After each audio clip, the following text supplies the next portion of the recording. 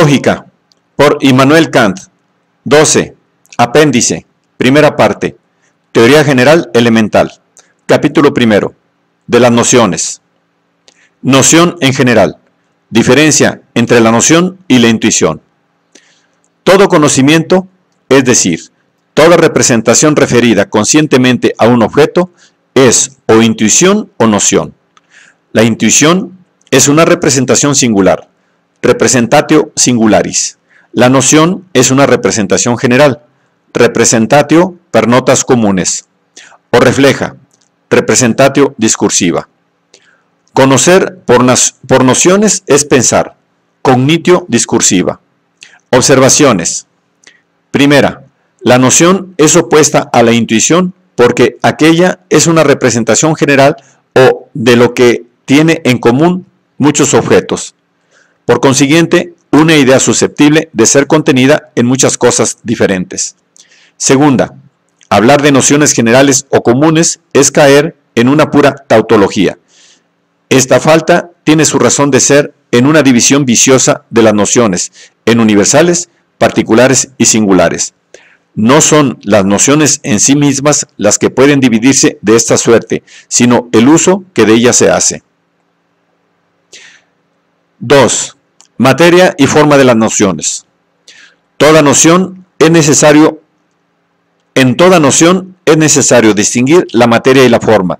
La materia de las nociones es el objeto, su forma la generalidad. 3. Noción empírica y noción pura. La noción puede ser o empírica o pura. Es noción pura la que no ha sido tomada de la experiencia, sino que proviene también del entendimiento en cuanto a la materia. La idea, propiamente dicha, es una noción racional cuyo objeto no puede hallarse en la experiencia. Observaciones. Primera, la noción empírica procede de los sentidos por la comparación de los objetos de la experiencia y no recibe del entendimiento nada más que la forma de la generalidad. La realidad de esta noción se funda en la experiencia real, de donde la noción procede en cuanto a la materia o contenido. A la metafísica es a la que corresponde investigar si hay nociones intelectuales puras, conceptus puri, que en tal cualidad no proceden del entendimiento sin la intervención de la experiencia. Segunda, las nociones racionales o ideas, propiamente dichas, no pueden absolutamente conducir a objetos reales, porque todos los objetos de esta especie deben ser contenidos en una experiencia posible, pero sirven para guiar el entendimiento por medio de la razón relativamente a la experiencia y al uso más completo posible de las reglas racionales. Y además, para mostrar que todas las cosas posibles no son objeto de la experiencia y que los principios de la posibilidad de dichos objetos no son aplicables a las cosas en sí mismas, ni aun a los objetos de la experiencia considerados como cosas en sí mismas. La idea contiene el prototipo del uso del entendimiento. Por ejemplo, la idea del universo, el todo cósmico, idea que debe ser necesaria, no como principio constitutivo por el uso empírico del entendimiento, sino solo como principio regulador, para obtener la conformidad universal del uso empírico del entendimiento. Debe ser considerada como una noción fundamental necesaria, sea para completar objetivamente las operaciones intelectuales de la subordinación de las nociones, sea para considerarlas como ilimitada. La idea no se obtiene tampoco por composición, porque el todo aquí, el todo es aquí antes que la parte. Hay, sin embargo, ideas susceptibles de cierta aproximación. Tales son, por ejemplo, las ideas matemáticas o ideas de la generación matemática de un todo, que se distinguen especialmente de las ideas dinámicas. Diferenciase estas enteramente de todas las nociones concretas, por la especie y no por la, y no por la cantidad, como en las nociones matemáticas. A ninguna idea teórica puede atribuirse una realidad objetiva o probar esta realidad, a no ser la idea de libertad. La razón de esto es porque la libertad es una condición de la ley moral, cuya realidad es un axioma. La realidad de la idea de Dios no puede demostrarse sino con la, de la ley, moral y, por consiguiente, bajo su relación práctica. Es decir, que es necesario obrar en la suposición de la existencia de un Dios. Esta realidad no puede ser demostrada sino de esta manera. En todas las ciencias, y principalmente en las ciencias racionales, se halla la idea de la ciencia, la idea de un bosquejo o plan general, y, por consiguiente, la circunscripción de todos los conocimientos que forman parte de ella.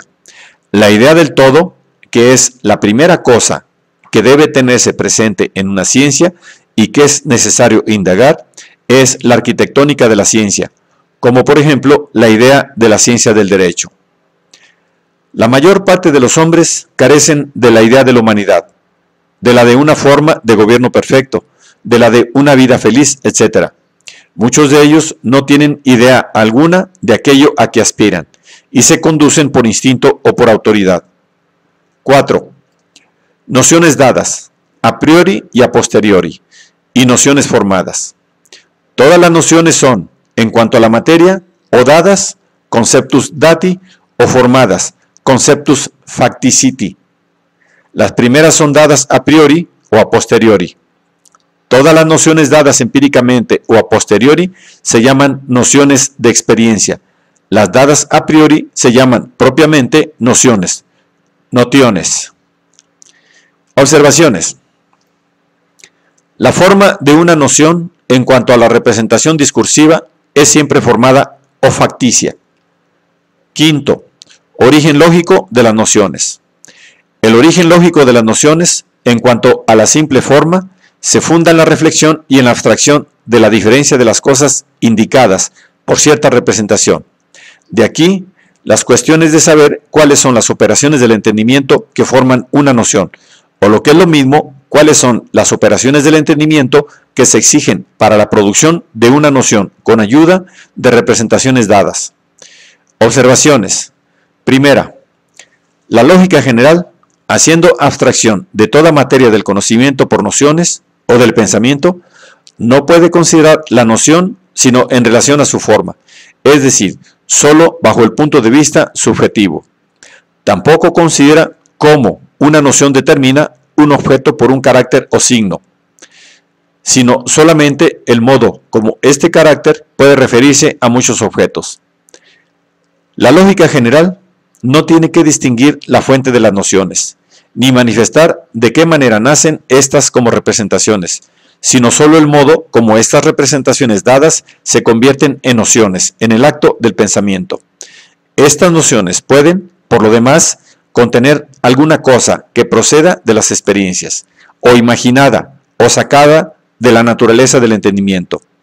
Este origen lógico de las nociones, origen en cuanto a la simple forma, consiste en la reflexión mediante la cual una representación viene a ser común a muchos objetos, conceptus communis, como forma indispensable al juicio.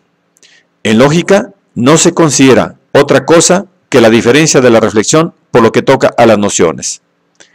Segunda, la metafísica trata del origen de las nociones relativamente a su materia, según la cual puede ser la noción empírica, arbitraria o intelectual. 6. Acto lógico de la comparación, de la reflexión y de la abstracción. Los actos lógicos del entendimiento por los cuales se producen las nociones en cuanto a su forma son Primera, la comparación, es decir, la aproximación por medio del pensamiento de las representaciones con relación a la unidad de conciencia. Segunda, la reflexión, es decir, la atención al modo como diferentes representaciones pueden ser comprendidas en una conciencia única. En fin. Tercera, la abstracción o la separación de todo. La abstracción o la separación de todo aquello en que se distinguen las representaciones dadas. Observaciones. Primera, para que las representaciones puedan pasar al estado de nociones, es necesario poder comparar, reflejar y abstraer, porque estas tres operaciones lógicas del entendimiento son las condiciones esenciales y generales de la producción de toda noción. Veo, por ejemplo, un pino, un sauce y un tilo. Comparando primero estos diferentes objetos entre sí, observo que se diferencian los unos de los otros en relación al tronco, a las ramas, a las hojas, etc. Pero si no fijo enseguida la atención más que en lo que tienen de común, el tronco, las ramas y las hojas, y hago abstracción de su tamaño, de su figura, etc., formo entonces la noción de árbol. Segunda, no siempre se emplea convenientemente en lógica la palabra abstracción. No siempre, perdón, segunda, no siempre se emplea convenientemente en lógica la palabra abstracción. No debería decirse abstraer alguna cosa, sino abstraer de alguna cosa. Si, por ejemplo, en un paño de color escarlata solo pongo atención en el color rojo, hago abstracción del paño. Si además hago abstracción del paño como tal y no pienso en el color, sino como una porción de materia, entonces hago abstracción de mayor número de determinaciones. Y mi noción viene a ser de este modo aún más abstracta, porque cuanto más caracteres distintivos de una cosa se omiten en una noción, en otros términos, Cuanto mayor es el número de determinaciones abstraídas, más abstracta es la noción. Deberían llamarse propiamente abstractivas, conceptos abstragentes, las nociones abstractas. Cuanto mayor o menor número de abstracciones se han verificado en estas nociones, las cuales no son otra cosa que lo que resta después que estas abstracciones se han verificado. Así es, por ejemplo, como la noción de cuerpos no es propiamente una noción abstracta. Si no pudiese, por el contrario, hacer abstracciones en ellos, no tendría la noción de otro modo que sin estas nociones, que de ellos abstraigo. Y sin embargo, puedo en ellos hacer abstracción del volumen, del color, de la solidez o de la fluidez. En una palabra, de todas las determinaciones especiales de los diferentes cuerpos, aunque estos no existen sin estas determinaciones. La noción más abstracta es aquella que no tiene nada de común con ninguna otra. Esta noción es la cosa, la que no es lo que no es ella es nada. No tiene nada de común con lo que quiera que esto sea. Tercera, la abstracción no es más que la condición negativa bajo la cual pueden producirse ideas universales válidas. Las condiciones positivas son la reflexión y la comparación, porque no hay en ellas nada que sea fruto de la abstracción. La abstracción no hace más que acabarlas y encerrarlas en sus límites determinados. 7. Materias y circunscripciones de las nociones. Toda noción, considerada como parcial, está contenida en la representación de las cosas, como fundamento del conocimiento, es decir, como signo elemental. Están en ellas contenidas estas cosas. Bajo el primer aspecto, toda noción tiene un contenido, una materia. Bajo el segundo, una circunscripción. La materia y la circunscripción de las nociones están entre sí en razón inversa. Cuanto más cosas abraza bajo de sí, menos encierra en sí, y recíprocamente. Observación. Como se dice de un principio en general, que hay en él consecuencia, puede decirse también de una noción, como fundamento o principio del conocimiento, que abraza todas las cosas de que ha sido abstraída o sacada. Por ejemplo, la noción de metal contiene las de oro, plata, cobre, etc. Porque si toda noción, como representación universalmente válida, contiene lo común a muchas representaciones de cosas diferentes, Todas estas, en cuanto están contenidas bajo de ella, son representadas por ella. Y en esto consiste la utilidad de una noción. Cuanto mayor es el número de cosas representadas por una noción, mayor es también su esfera. Así es como la noción de cuerpo tiene una extensión mayor que la de su metal. 9. Nociones superiores e inferiores.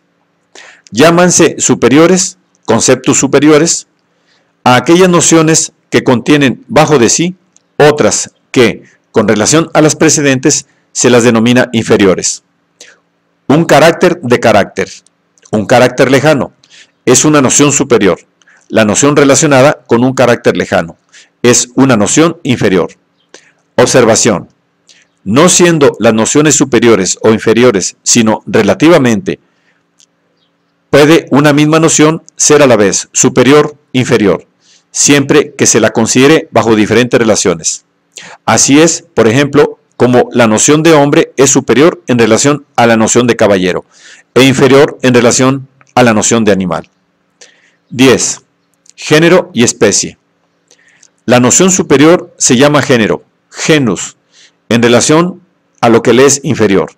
Esta, en relación a la superior, se llama especies. La noción de género y de especie, lo mismo que las nociones superiores e inferiores, no se distinguen unas de otras en la subordinación lógica por su naturaleza, sino solo por su relación respectiva. 11. Género supremo. Última especie. Género supremo es aquel que no puede ser especie bajo ninguna relación. Así como última especie es aquella que no puede ser género bajo ningún aspecto. Por consecuencia de la ley de continuidad, no puede haber especie última ni especie más próxima. Observación. Cuando concebimos una serie de muchas nociones subordinadas entre sí, por ejemplo, las del hierro, metal, cuerpo, sustancia y cosa, podemos obtener siempre géneros superiores, porque cada especie puede considerarse como género con relación a su noción inferior. Por ejemplo, la noción de sabio con relación a la de filósofo hasta que, por último, llegamos a un género que no puede ser especie a su vez. Y debe sernos posible llegar en definitiva a este género, porque debe haber al fin una noción suprema, conceptus sumus, del que nada pueda abstraerse, a no ser, a no hacer que desaparezca la noción total. Pero no hay noción última o más baja posible, conceptus infimus, o especie última bajo la cual no pueda contenerse otra, porque tal noción es imposible determinar. Pues aunque tengamos una noción que apliquemos inmediatamente a los individuos, puede haber, sin embargo, respecto a esta noción, diferencias específicas que no hayamos notado o tenido en cuenta. No hay noción última, sino comparativamente y para el uso, que solo tienen, por consiguiente, valor convencional. Por decirlo así, o porque se ha acordado no descender más.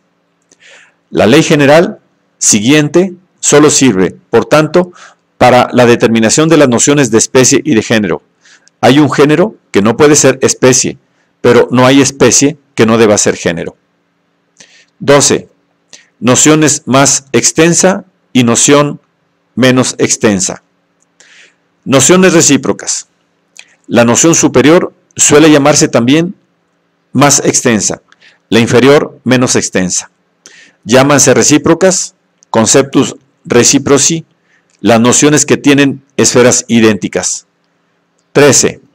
Relación de la noción superior con la inferior, de la más extensa con la, menos, extensa. La noción inferior no está contenida en la superior, porque contiene en sí más que ésta, pero le está, sin embargo, subordinada porque la superior contiene el fundamento del conocimiento del inferior. 14. Reglas generales concernientes a la subordinación de las nociones. La extensión lógica de las nociones está sujeta a las siguientes reglas generales. Primero, lo que conviene o repugna a las nociones superiores, conviene o repugna también a las inferiores, que les están, que les están subordinadas. Segundo, recíprocamente, lo que conviene o repugna a todas las nociones inferiores, conviene o repugna también a su noción superior. Observación. Aquello en que convienen las cosas procede de sus propiedades generales y aquello en que difieren entre sí se funda en sus propiedades particulares. No puede, pues, concluirse que aquello que conviene o repugna a una noción inferior, conviene o repugna también a otras nociones inferiores que pertenecen, como ella, a una noción más elevada. No puede, pues, concluirse, por ejemplo, que lo, que que no conviene al hombre no puede convenir a los, a los ángeles. 15. Condición para la formación de las nociones superiores e inferiores. Abstracciones y determinación lógica. La abstracción lógica continuada da siempre origen a nociones superiores. Por el contrario, la determinación lógica continuada produce siempre nociones inferiores. La mayor abstracción posible de la noción más elevada o más abstracta es aquella de que no puede abstraerse ninguna determinación. La determinación suprema daría una noción universalmente determinada. Conceptum omnimodo determinatum. Es decir, una noción que no sería susceptible de ninguna determinación ulterior. Observaciones.